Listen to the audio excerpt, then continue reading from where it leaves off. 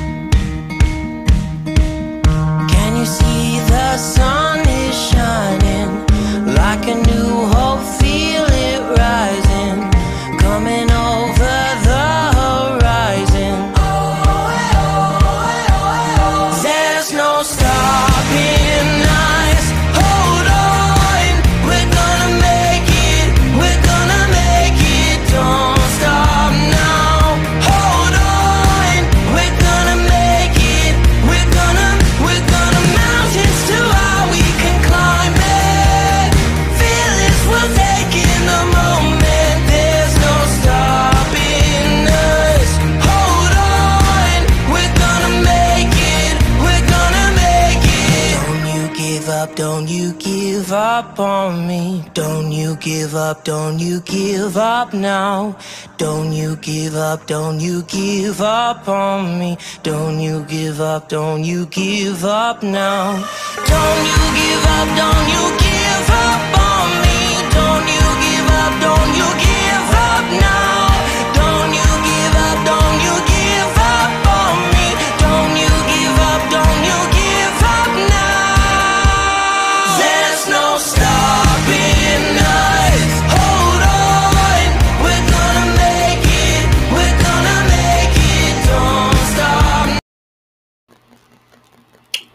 Good evening.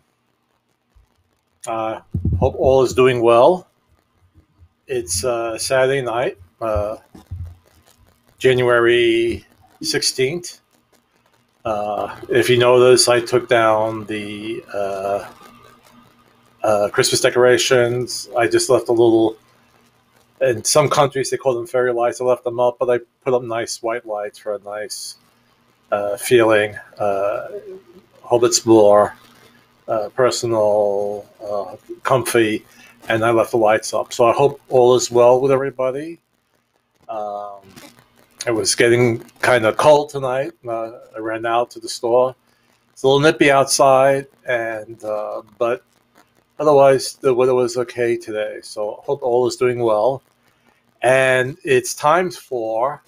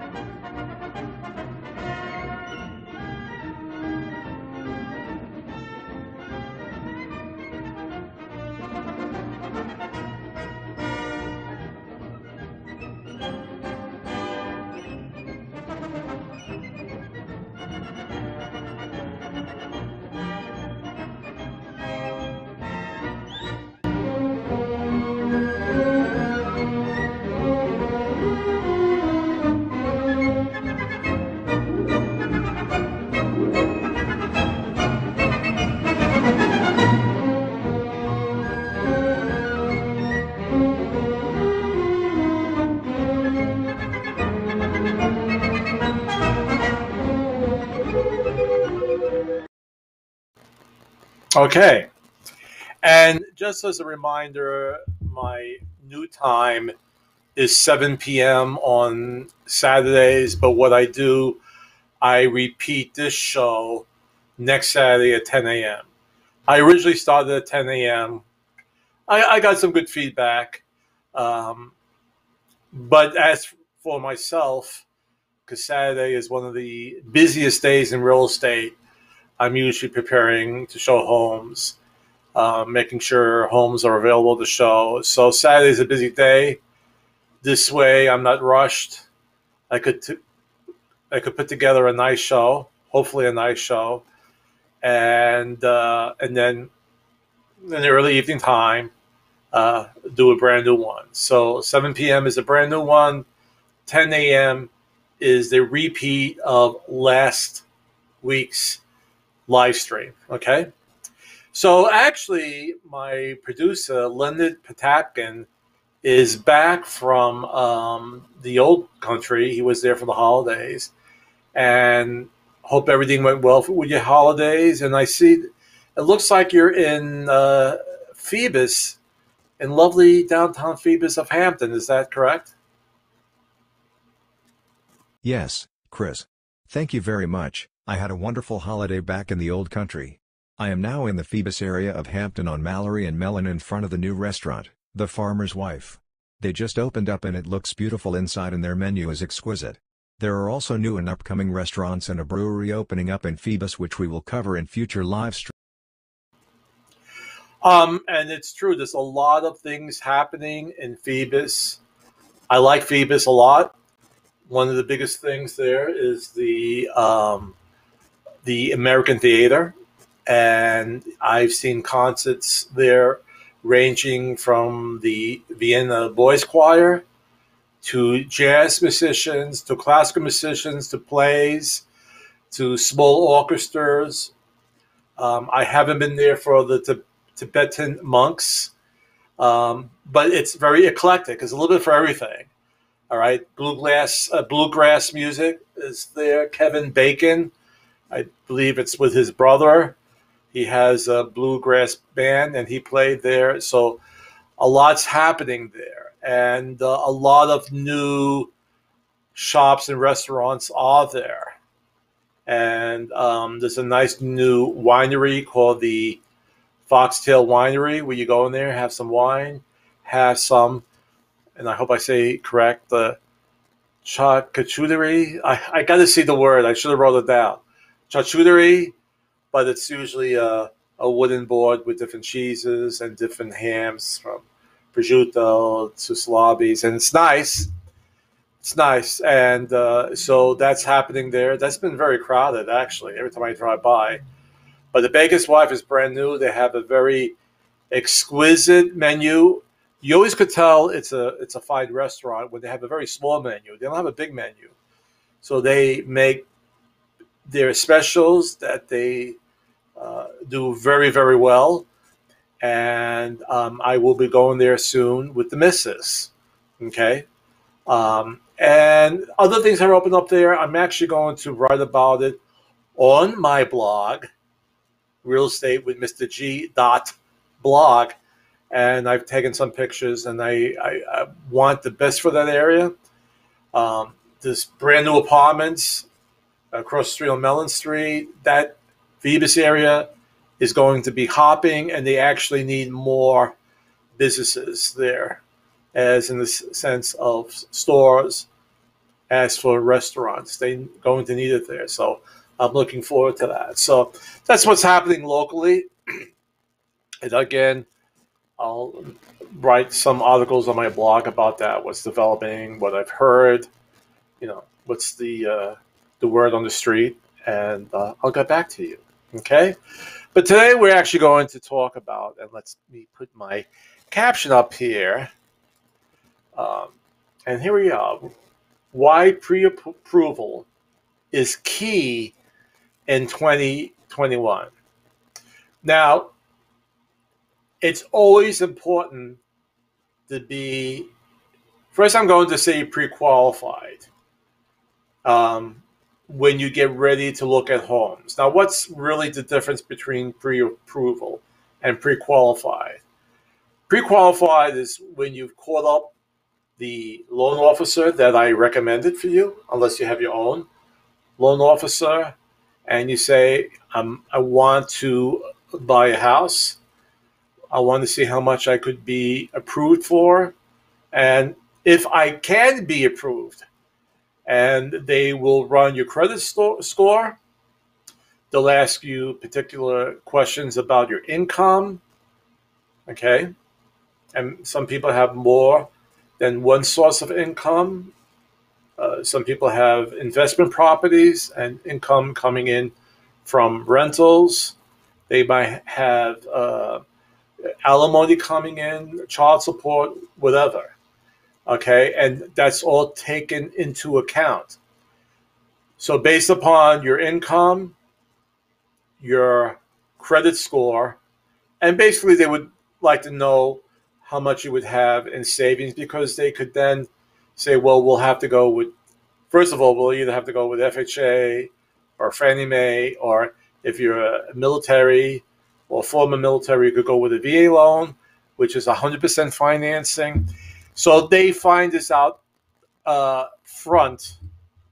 This is your initial conversation. They run and they say, okay, based upon the information you gave me, I could pre-qualify you, and it could be you know up to 150,000. It could be up to 250,000, whatever. And now they're able to put together a pre-qualification letter. Now, what's the difference between that and being pre-approved? Well, when you go into the mortgage loan officer's office and you say, well, here's my bank statements. Let's say the last six months, if that's what they ask for. Here's two years of income statements. All right.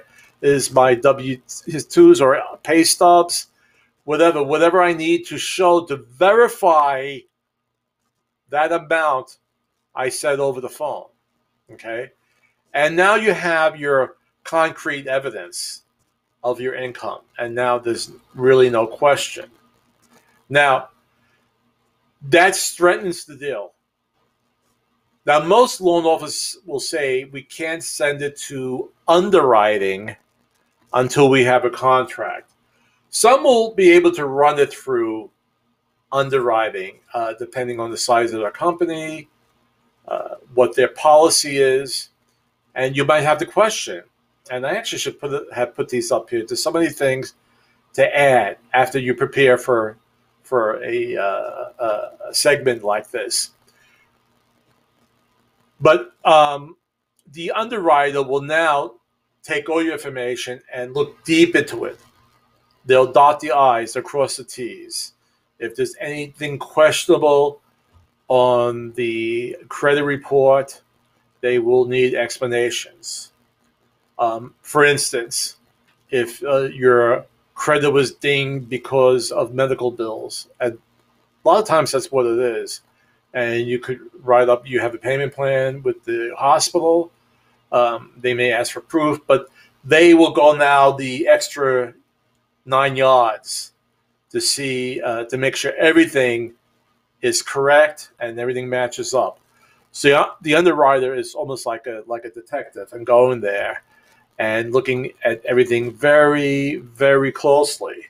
Okay, and basically uh, once you have a ratified contract, and now uh, the appraisal goes out, and once the appraisal goes in, and we see the amount, everything then goes to the underwriter, and that's when they check everything in full.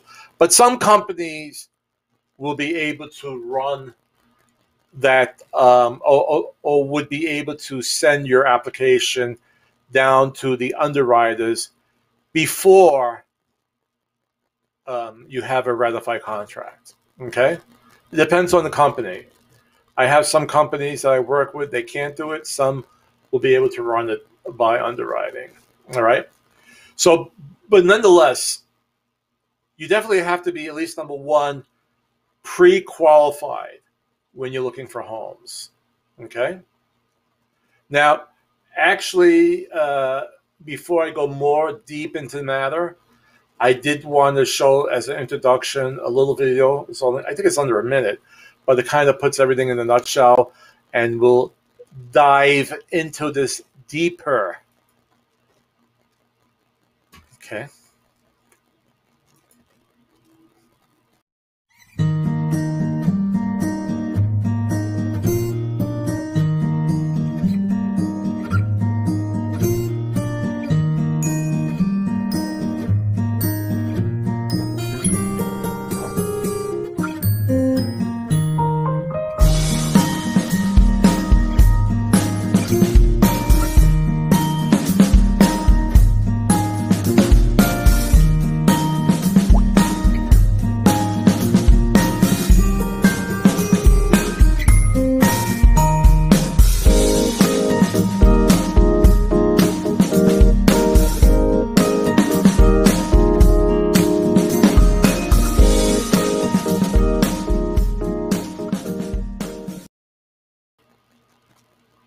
Now, um, let's take the key points of that video and why is it key to be pre-approved at first? Well, number one, there's high competition. And if you've been watching my live streams, um, I've repeated so many times that there is little housing inventory right now and many buyers. And the buyers in the market right now, they're not testing the market, you know, they're not so sure. They're, they're they want the, they want a house, all right, and they've been pre-qualified and they, and they're strong buyers, all right. But there's a lot of buyers and a little inventory. So what's happening if the house is priced correctly? And I've said this so many times, that's the key to it. Uh, the houses that are getting offers on the first day on the market and many times it's multiple offers, it's priced correctly. Right? It's not overpriced, which is something that's happening right now with, with sellers. They're getting a little too, you know, all right, I got the upper hand here, so uh, I'm going to, you know, go really high, really high. But the thing is that house has to to appraise at that very high amount, and sometimes that doesn't always happen. So to have a professional like myself do a CMA for you or comparative market analysis to price that correctly will be most helpful. But on the buyer side, there's a lot of competition out there. And there are houses that are going into a contract within 24 to 48 hours with multiple offers at time. So you have to go in there prepared. You can't go in there, you know, willy nilly. You have to be prepared. And how do we do that? Well, preparation, by preparation, to get pre approved as soon as possible.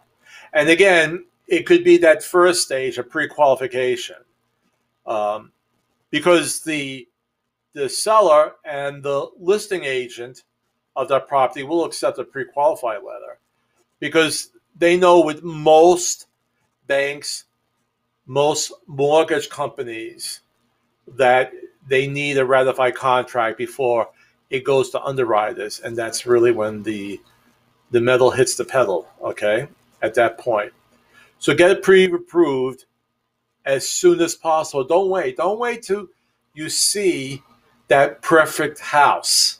Okay, and I have a lot of leads right now and the first uh, task they have to do after they find a very good real estate agent like myself, they have to get pre qualified. But they don't. They don't. They have visions of buying a new home, but that pre qualification is so important. Just in case, all right, you have some obstacles Okay? You want to know your price range and you want to get an idea, you know, okay, say, you know, I could find a house, the, the type of house I want, it's a three bedroom in Hampton, and that runs, let's say, from two to 250. You know, I, I could possibly find a nice one for 200, but one that's ready to be moved in, that's newly updated, I'll probably have to go to 250. And your loan officer could give you an estimate of the cost of what it would be between getting a house for 200,000 as opposed to getting to a house for 250,000.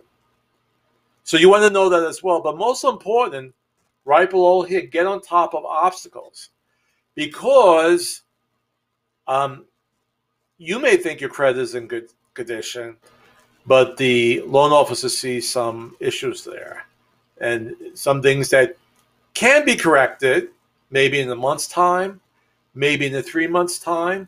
I just had someone go for pre qualification. They need to work on a little bit, but which is it's fine because their lease is not up to the end of the year and they're going to start looking around September, October. So they have enough time to clear up some issues on their credit report And that's the right way to go about it. Don't wait uh, until you you see that dream house that you want, because there's a chance that uh, there's something that has to be worked out. Unless you know, unless you know for sure that you have no problems with your credit, right? But I found out in all these years of doing real estate, the ones that think they know how good their credit is, it's not that good. And ones who think their credit is bad, it's actually pretty good. Now that's not all the time, but I've I've found that that out that uh, you know opposites out. Uh, that's how it happens. All right, but let a professional look at your credit report and get on top of those obstacles right now. Okay, so you have time to work on it. And again, I've worked with people who cleared it up with recommendations from the loan officer within two to three months. I've had some people who needed about six months. But once you have a plan, you could chart it out, and now you're on the road to purchasing a house. Okay? Now, let's get rid of this graphic here and let me bring up um, my text for today. And if I hit this here, and there it is. And we're going to say the do's and don'ts after applying for a mortgage. Now you've been uh, pre-qualified, got all your paperwork in, you've been pre-approved. The the uh, I was going to say the undertaker, the underwriter. uh, let's say had a, a, look at it and they said, no, this, this is in pretty good shape. But then there are some things that you want to avoid. And the reason why you want to avoid some things is because the underwriter may, and then most times, will check your credit right before closing. Okay? So if you did something like, and let's scroll this down. Okay. Um, I'm going to go to number two first because this, this is the big issue, the biggest problem. Number two, don't make any large purchases like a new car or furniture for your new home. New debt comes with new monthly obligations.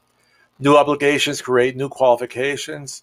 People with new debt have higher debt to income ratios. Higher ratios make for riskier loans, and then sometimes qualified borrowers no longer qualify. And this happens I don't want to say a whole lot, but it does happen where people, and it might not be a car. They might say, "Okay, now let's let's buy furniture for our new home." Yay, yay, yay! And they put it on credit, and now their debt to income goes up higher, and it's very possible that the loan will be denied denied right before closing. Okay. Let's look at number one don't deposit cash into your bank accounts before speaking with your bank or lender. Lenders need to source your money, and cash is not easily traceable. Before you deposit any amount of cash into your accounts, discuss the proper way to document your transaction with your loan officer. Now, you might say, well, what's wrong with that? What's wrong with that, uh, Mr. G? Well, what's wrong with that is that it may seem that, uh, and it could be a family member, they're trying to help you. You really perhaps maybe can't do the down payment on your own. You might have difficulties with the monthly payments. So, uh, a parent, an uncle, a brother or sister is making cash deposits. But if they see these cash deposits coming in and it's not documented, and it could be completely innocent. They're going to question that. And if it is money coming from, you know, family members, they might say, well, can this person really afford the mortgage? Now, just a, a sub note to that, okay, is that with some loans, you're able to get gift funds for the down payment, all right? So someone can gift you the money and it could be you know three percent of the of the loan. It could be two percent, whatever. But there has to be a letter with that. There has to be a gift letter. And you say, well, why?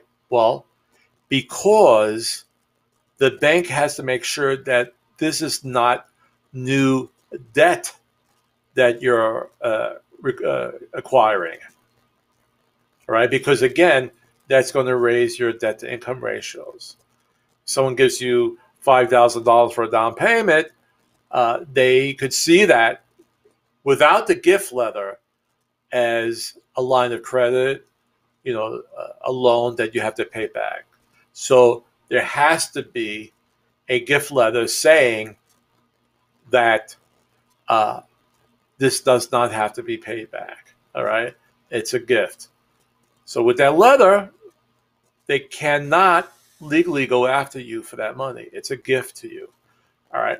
So that in in that way it could be done, but it has to be documented.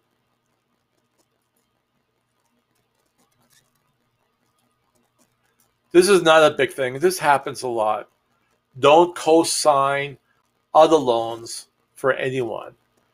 And you know, your your daughter, your son may be buying a new car and they really need it for school, they need it for work. In that period of time when you're waiting to close, don't do it then. Okay?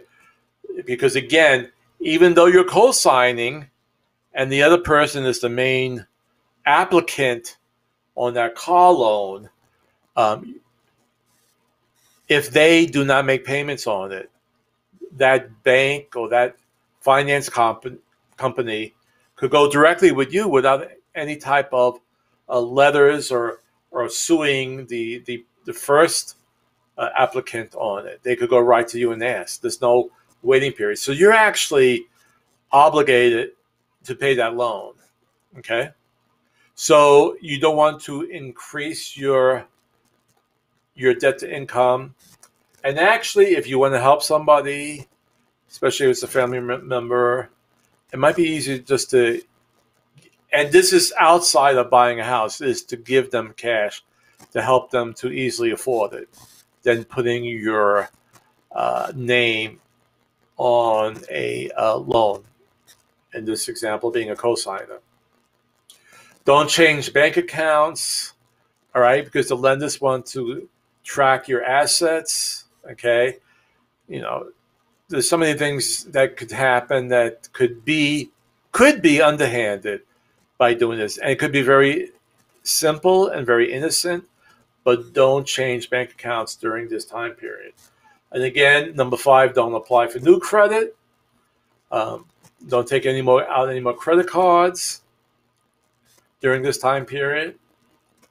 And don't close any credit accounts as well. And I know this sounds weird because it's really hard to, to figure out, but um, you would think closing some credit lines, if you have quite a few credit cards, might be a good thing, but it sends a message to, uh, in this case, the, the bank that's uh, going to give you a mortgage that maybe uh, you're having financial difficulties, so you have to close these out. Um, it's it's tricky, and and when you think you're doing a good thing, you're not doing a good thing. Okay.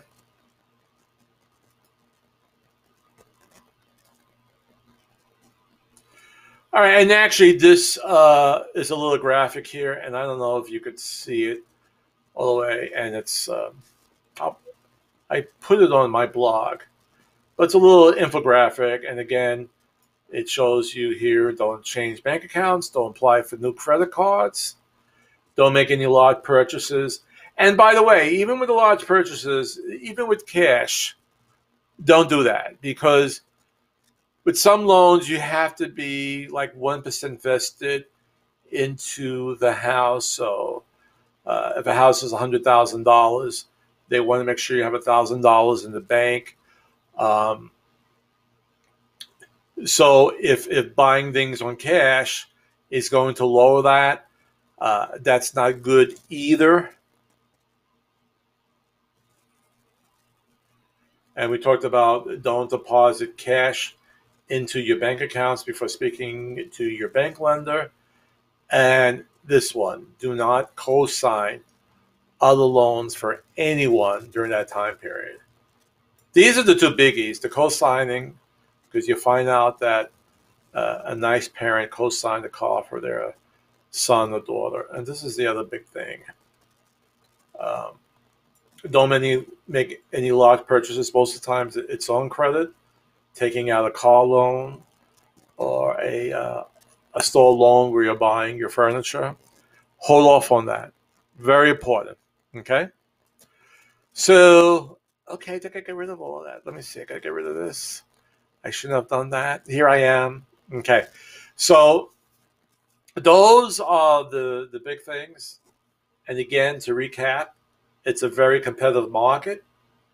Um, get pre-qualified, pre-approved now before you start that search. It'll go a lot smoother. Believe me, I've been in this business. well, actually, in 2023, I'll- I'll be in this business 30 years. Can you imagine that?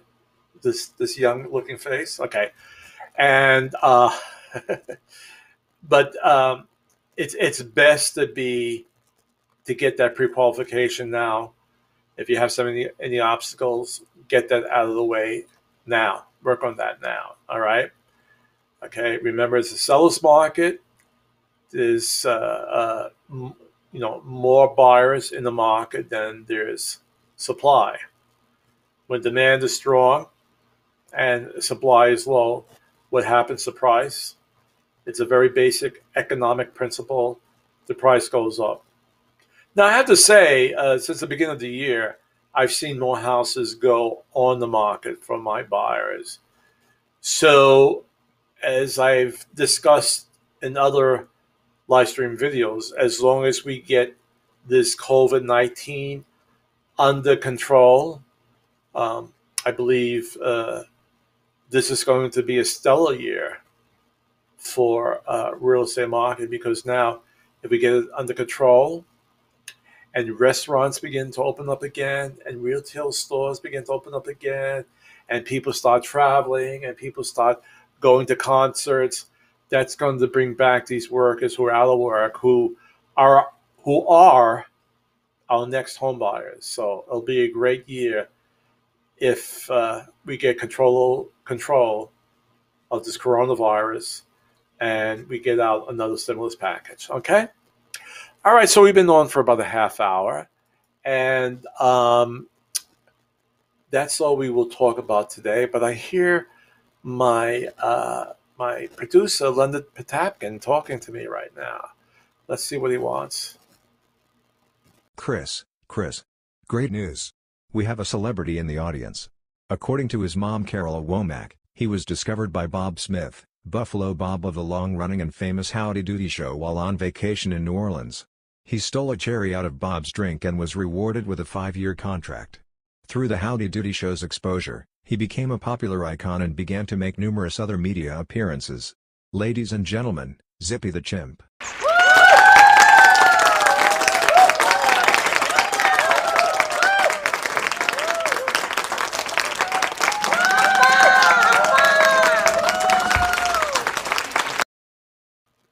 Well, Zippy looks good. I, you know, I've seen him on Ed Sullivan years ago. I didn't know he was still around, but evidently, uh, monkeys' lives are pretty long. But uh, it was good seeing him again. So, uh, again, another famous celebrity in our audience.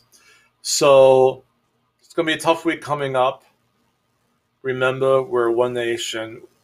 Let's work out all our problems by talking, by negotiating okay? Uh, wear your mask, keep your distance, wash your hands, and be safe, okay? And I'll see you next week on Real Estate with Mr. G.